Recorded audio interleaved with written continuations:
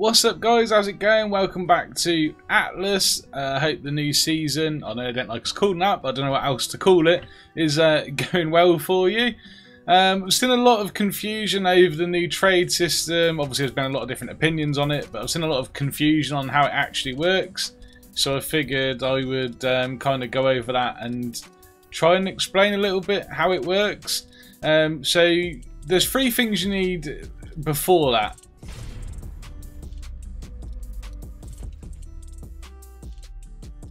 The farmhouse, the warehouse and the market which does mean you need certain skills if you didn't know. Again, some of you will already know this, but for the benefit of anyone that hasn't seen this before or is new to the game, etc., you need to unlock construction in the survivalism tree, which is the only skill tree open to you when you start. And you want to get the basics, unlock construction and mercantilism. I think that's how you pronounce it over there. Then on the second tab at the top, construction. And then you need to go all the way down to the bottom to advanced automation to unlock the farmhouses, the warehouse, the market. You also get the defense tower there for the sea forts. We'll briefly talk about them later. But yeah, that's what you need before anything else. Then you need to go to your smithy and you need to craft a farmhouse. You can choose which one you want, farm, uh, wood or stone. Wood one is less health than the stone one basically. It doesn't really matter, but the stone one is also a little bit more pricey. Once you've got a farmhouse, you need a warehouse. So you're going to need to craft that as well. And then once you've got the warehouse to start trading, you're going to need the market. Now, you don't have to get the market straight away. It's up to you, but obviously you need the um, farmhouse and the warehouse to start gathering resources. The market also costs 100 gold as well as resources, so um, keep that in mind. Place your farmhouse down somewhere that will be useful for you. So this is one of ours here. I'll explain why I've got resource box there in a moment. But um, yeah, so this is gathering everything in the little area around it. It's not a big area, believe it or not. It's only about from here to the farmhouse, so from where I'm standing to the farmhouse in a circumference around it. Um, I would show you the bubble, but my button isn't working that shows what resources are, are what and um, shows areas of things. But yeah, it's basically from here to there in a circumference. So it's collecting like this rock, it's collecting um, these fibre pieces, the trees around here, these couple of trees here. And somewhere, I don't know which rock it is, because like I said, my button's not working, there's a sulfur node um, so we're getting sulfur here as well. But you can see there it's slowly pulling resources into the farmhouse. This top slot is for fuel. The farmhouse and the warehouse both burn fuel and they both have this slot. You can use oil, coal, wood or thatch in that order. Um, oil burns the best and thatch burns the worst so obviously it burns thatch really quickly and it burns oil really slowly. The other thing is the farmhouse will outperform the warehouse eventually and the farmhouse will then stop. So all I like to do is, is put a resource box down next to it and then just come in check it now and then and throw the heavier stuff like stone or metal into the resource box and that way the uh, farmhouse won't stop farming and the warehouse will continuously collect. You won't have problems with the warehouse, it's the farmhouse that will stop. So yeah, nice little trick yes, it does bring the efficiency down slightly on the farmhouse doing this, but your farmhouse is already outperforming your warehouse, so you can lose a bit of efficiency. Don't worry about it. So that's why that's there, and that's what I like to do. That's the farmhouse done. The next thing is the warehouse. So that's the warehouse. It looks pretty cool as well. The farmhouse looks pretty good. I kind of like the market. I wish the market looked a bit more like a market stall or a little shop or this door was open or something. Just looks like a shed with a sign on it to me. Let's check the warehouse. So you can open this up. You can see the resources it's been gathering. You can see there randomly an egg. I'll explain that in a moment. And you can see there we've got silver, even though we mainly collect tin. Um, we've been trading tin for silver. That will just keep collecting stuff. It's got a massive weight capacity on it. So you ain't got to worry about that. 250,000 in weight. So the farmhouse has to be in radius of the warehouse and vice versa. Again, I can't show you the radius because my button to show that isn't working for some reason. But it's big, alright? It's big. And be considerate, guys, when you are placing these. If you're on an island, chances are you're going to be in an alliance with someone. So just be considerate. you know, especially in PvE. PvP, obviously, people are going to troll each other in PvP. It's PvP at the end of the day, that's fine. But at the same time, you don't want to shit on your doorstep, do you? So be considerate with them. Keep them, you know, reasonable. But they have got large ranges, both the farmhouse and the warehouse. And um, yeah, you won't have issues with that. The only issue you will have is trying to place them um, if people have already got stuff down because they'll clash with other people's and it doesn't just count your warehouse in a radius it counts other it counts other people's. And you can only have so many warehouses in a radius you can only have so many farmhouses in a radius so just be wary of that. So then get your market down the market connects to the warehouse. Mine is disconnected for some reason I don't know why it's done that it, it was fine earlier now it's randomly disconnected. Um, so I'm probably going to have to pick that up and redo everything which is slightly annoying but yeah things are going to be going wrong now and then. And yeah they're going to have to um, change things as they go but let's take a look at it. I can show you how it works anyway. So when you open this to start with, this will all be empty. On the right hand side, got trade offers. Again, like I said, this will all be empty. So at the top, click new trade. On the left hand side, it will show you your resources. On the right hand side, it will show you um, what you want to trade for. So for example, we will select tin here. I've been trading one for one just to get some trades going and also to generate a little bit of income. Um, and there's obviously, you know, it's a new market, so there's no real set price at the moment. But I feel like one for one, say tin for copper, for example, they're both really common. One for one, someone's getting tin when they ain't got tin. I'm getting copper and I ain't got copper, and we're both generating gold from it. So it's a win-win all the way around. So things like that are pretty standard. So I would advise, this is what I've done, is go through all the resources I own and go one for one on other resources that are common. There are exceptions, like ironwood in the wood obviously, ironwood's really rare, so you're going to have to pay a much higher rate to get ironwood.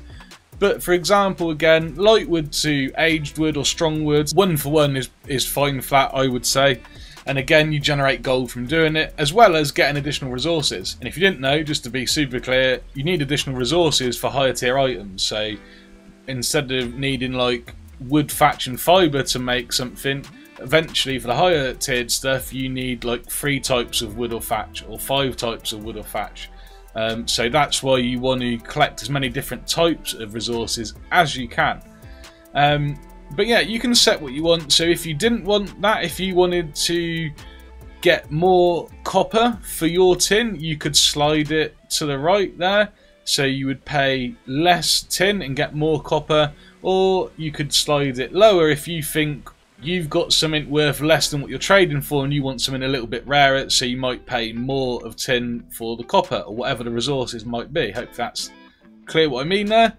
But yeah, you can see you can slide the trade rate you can also type in a trade rate, so if you wanted to put that at 0.50, you could do that. Once you've got that set how you want it, you just click add. I'm not going to because I've already got this trade set up. And then it will appear in this window. So you can see there, tin for one copper, established trade, 1k tin for 1k copper. You can edit that and you can also delete. But I've had issues deleting it. When I've been deleting stuff, it's not deleting the thing I'm trying to delete. It deletes other things. I'm not even sure what it's deleting, but it does delete stuff, but not what you're trying to delete.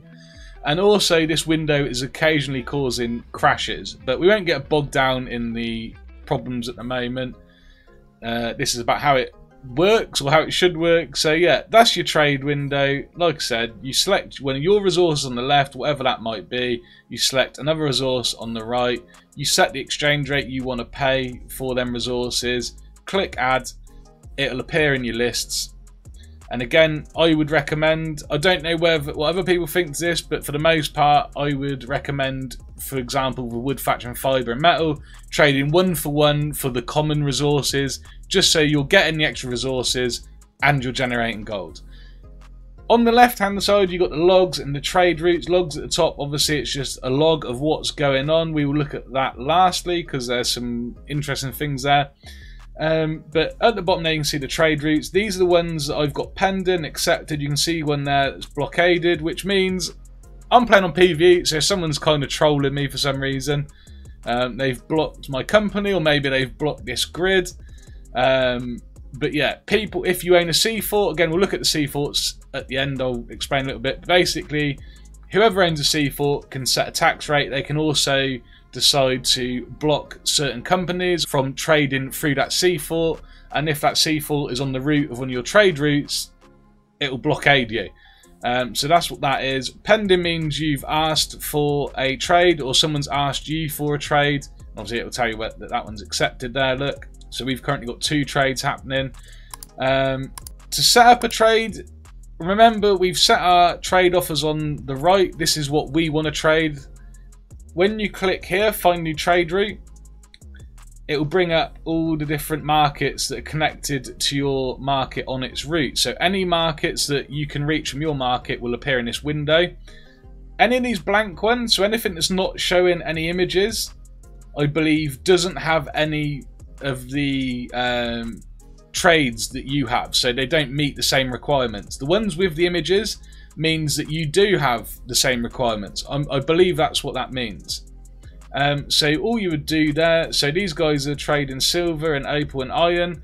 So they must be trading with the same offers that I've put on here somewhere. So I will click the cogs and then request a trade route.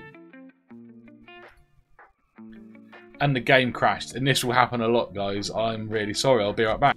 right, okay, I'm back. It's pitch black, obviously. Why wouldn't it be when I'm trying to record a video? Alright, let's try this again.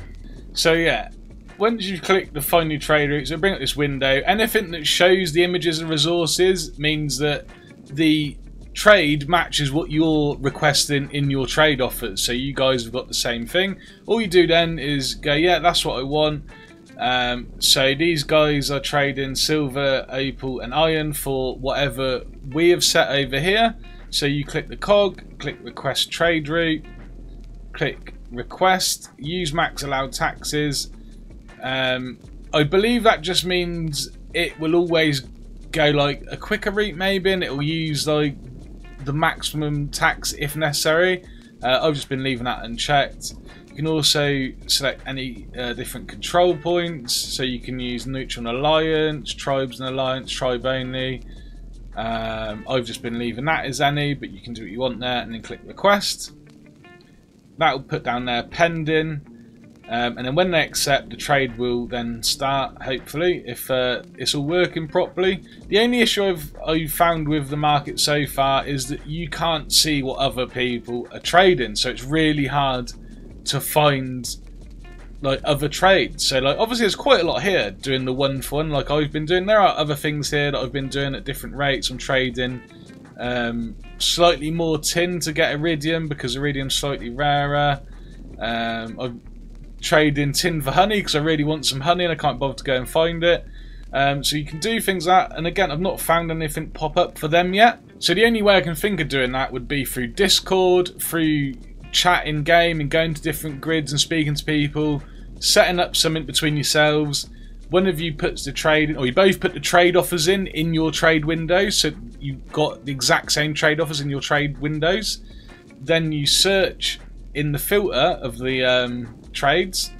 So you, when you're on the find new trade route, click at the top, type filter. So say I was trade, I'd set up a trade with Crimson. I type in Crimson, it would bring up their trade, and then I could accept it through that. Um, other than that, you can't just like browse things and see what people are offering for different rates. You, it's going to take a little while for set rates to become a thing. I imagine eventually we will will find like some sort of common ground on different trade rates for different things. But for now, you're just going to have to chat with people, set up what you think's fair, and see if other people are matching you. Like I said, the one-for-one -one thing seems to be a good idea for the most part. Trading common resources, especially one-for-one, you both get different resources and you generate gold in the process. It's really, really helpful. And a lot of people seem to be doing it, so it is working like that. Um, so lastly, the logs. The log is obviously a log. It's just telling you what's going on with your trades. The only thing I found with this that's slightly, not annoying, but um, I was hoping it was going to show this in the tribe log or the company log, and it doesn't. It's on its own little thing. Um, so you can't integrate that with each other at the moment. So you can't integrate this to Discord. I'd like to have this on Discord so I can see what's going on. Um, just because it's interesting to see what's um, being generated when you're not playing, obviously. And good way of keeping track of stuff. Um, but yeah, if you go through the logs, you will notice, so you can see there that the market was created, I made some requests, the trade was accepted there, um, some shipments started, that one was completed, we received the goods and 10 gold after tax. Then there was a fire on board the ship, so we lost half a shipment and lost the profit, which is one of the random events that can happen. And there's another random event there. The ship was nearly impounded, palms were greased, but it ate into the profit, so we lost some profits. Uh, then we randomly got 50 gold, and I don't know what that was from. Um, so the further a trade is away, the more gold you're meant to generate. But everything I've seen so far, it's either 10 gold or 5 gold. So you can see there, look, 10 gold. If I try and trade with Crimson, who are on the same island as me and same grid, it's 5 gold. But, like I said, that's generated 50 gold there, so I'm not sure how it's 100% working. But I do know is after 2 hours, and I only had two, no sorry, one trade route set up, we made 135 gold. Now, it's not blindingly quick and not a lot of money, but um, it don't make sense to be only getting 10 gold, does it? So I'm not entirely sure how it's working. It's not very clear. But yeah, you do make more gold than I thought you was going to and more than a lot of people thought, I guess. Still slow, still feels like the schooner's a long way off. and the, yeah, the galleon's like a dream. But um, doing it like this anyway, which is meant to be the new meta for gold making. Hopefully in a little while it will be, like we got to get further through and see what happens with it. But yeah, um, so yeah, that's the gold. Like I said, we have to see how that goes. You can see that it pops up quite a lot. 10 gold generated, 10 gold generated, 10 gold generated. Um, so yeah, maybe it's 10 gold per grid, which would make sense. Um, and then you can also see here, if I can find it, uh, our parrot hookbeak laid an egg. And then hookbeak died, which is unfortunate. need a, uh, they need a new parrot on their ship. Um, so yeah, that's another one of the random events. But yeah, you get it. There's the log. You can see trades being requested, trades accepted, trades starting, trades complete, and all that kind of stuff. What I'm going to do now, guys, is go through some of the information they've put out about these. Just to clarify anything, if you are still not sure. Hopefully I've done a pretty good job of explaining how it works. Um, like I said, there's still a lot of things that could change. There's still a lot of things that will change. And it's still a little confusing. But um, yeah, I think that's how it's all meant to be working. Like I said, we'll jump over now and look at some of the information they've put out about it and hopefully just clarify a few things. So here's the latest post, guys, about the trade flow. I'm not going to go through this entire post. Now I'm going to do another video when I get back from work next week, so it's going to be well far behind when it happened, but I do want to talk about some stuff in it. Maybe they'll change some, some stuff between now and then as well, so we'll see what happens. But anyway, this is the trade flow chart, which was part of the latest post. Um, so you've got build, players build farms to collect various resources like wood, stone or metal. Then ship, they have a warehouse that all the farms automatically ship resources to. Trade, the warehouse is connected to a market which allows you to ship the resources between islands and trade with other players. Control, access to trading is controlled by a seafort. Whoever controls a seafort can give access to trading and in and through a server. Land trading also generates gold. Seaforts can tax this gold. You use gold to buy and maintain ships needed for war to gain land. And then you're back to building. So that's like the process. So you can see what they're trying to do. And it makes sense. It's going to create, um, or they're hoping it's going to create more objectives kind of thing for PvP, I'd imagine. Like they want you to fight over different things and in the process it's going to generate more trade and yeah, it's going to be a vicious cycle. Uh, so I kind of get it, and that does clear things up a little bit, but not quite. So let's go to a previous post. Markers will need to be connected to a warehouse, which in turn should be connected to a farmhouse. Farmhouses are used to fill the warehouses, and the market will use this to look things up to trade. Markets will need to be placed next to a warehouse, and each warehouse may only have one market. Players will need to control both land for resources and markets, and sea for trade routes. And what they mean by the controlling the land is obviously like you're going to have to find different resources around the world and set up your markets and stuff to trade them, like to generate more money and stuff like that, and generate more trades.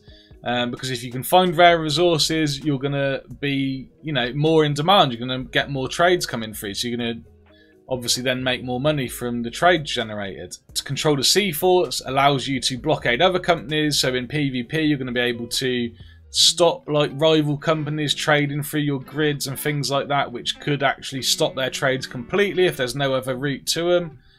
Um, so it's going to mean like fighting over sea forts to basically siege out big companies. In the actual market itself, players will have a menu that will allow them to set up their resources for trade and exchange rate at which they will trade for. So that's referring to the menu on the right where you pick like the resources you want to trade and what you want for them and then set the exchange rate and then you click accept, it makes a trade and then it'll automatically generate it and try and find people with the same requirements. Players can then request trade routes with other markets. Once a trade route with another market has been established, the connected markets will automatically set up the trades as long as both parties have the required resources within their warehouses. So like I said, you set your trade up what you want, like what you're trying to get um, with the, you know, your desired exchange rate the market will then automatically try and find other people with that exchange rate for them resources. That will show in the um, trade window on the left when you select look for new trade route. Then you click um, request trade with that company. Then they accept. And when they've accepted, that will generate the trade, which will generate the trade route, which will then generate the gold. And once it arrives, will give you the resources into your warehouse that you guys traded. A log is also available in the market menu to keep track of trade requests, attacks on your shipment, and obviously the random events. That's basically um, what we went through in the game a moment ago. I hope that makes sense, guys. Before we go anywhere, though, I will just mention this about the control points because I think the control points are, are pretty straightforward. There's one to four in each grid. You can raid them even on PvE to break into the bank and take the gold out from the taxes. Even neutral forts generate tax after trades have been through. Obviously in PvP you can fight over them and fight for control. Once companies own them, companies can set a tax rate, which can be anywhere from 10% I believe up to 50% tax. They can choose to specifically blockade companies if they wish, um, even in PvE. So companies that own a control point can also choose to blockade specific companies from using its control point, making it possible for companies to stop trades between others. Players will also be able to directly attack any shipments en route as well. The trade will only happen if both ships successfully reach their end destinations. You can't attack the shipments right now, it's only virtual, there's no physical ships in the game right now, it is all virtual until they release the physical side of it which we don't know when that'll be. Hopefully it doesn't require another wipe, but yeah, that's not happening yet. So everything at the moment will always make it to its destination, but you might lose some of your load and you might gain some stuff. So you don't know what's going to happen there with a random event. You have to check your log in the market. But yeah, people can blockade your routes. Bear that in mind. Obviously, it's a big advantage for anyone that can hold a control point. Uh, but that's how that works. And there's wonderful control points in the grid and like I said, you can take control of them. And as long as they're neutral or they're not blockaded, your trades will go through them. And when they go through the sea forts, the sea forts generate tax into a tax bank, and whoever owns a sea fort can take that tax, or you can attack it and steal the tax. I hope that's cleared things up. I hope that simplifies things a bit. Um, I'm sorry if the video was longer than I wanted it to be. I'll try and keep it as short as I can, but obviously I wanted to be detailed about it. I wanted to show as much as I could and explain as much as I could about what was going on with the trade system. Um, and yeah, and hope it's helpful. If I've missed anything, guys, feel free to mention it down below.